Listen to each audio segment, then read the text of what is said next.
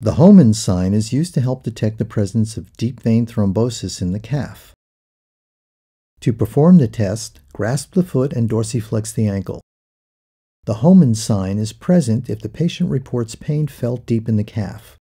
When a deep vein thrombosis is present, squeezing the calf should also reproduce the pain. Please note that the specificity of the test is affected by the presence of other conditions, such as muscle strain.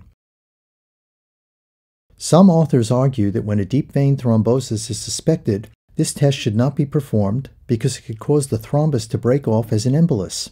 This can travel through the circulation and lodge in the lung, causing a pulmonary embolism.